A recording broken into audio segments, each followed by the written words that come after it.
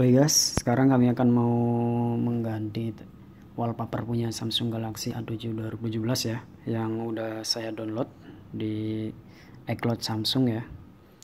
Nah, kita buka ya teman-teman. Sini kita buka wallpaper.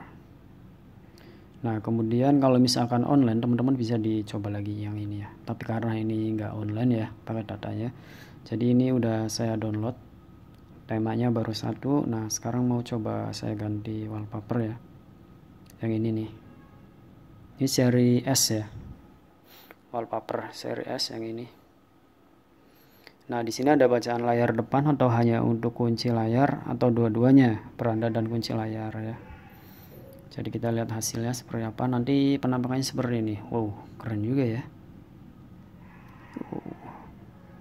Efek gerakan kita checklist ya oke coba kita terapkan kemudian kita back. Back lagi hasilnya seperti apa? Wow.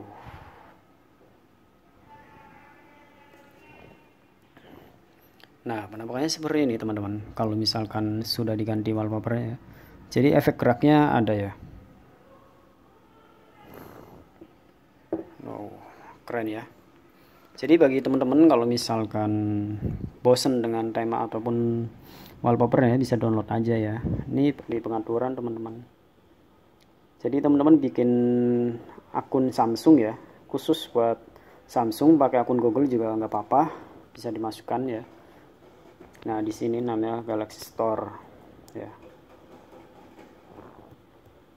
Galaxy Store juga bisa download-download ya kemudian di sini Galaxy TMS jadi nanti kalau misalnya teman-teman udah bikin akun buat Samsung atau akun Google dimasukkan ke akun cloud Samsung maka teman-teman bisa masuk login ke Galaxy Tema sama Galaxy Store ya. Misalnya mau download game ataupun yang lain lah aplikasi lain gitu.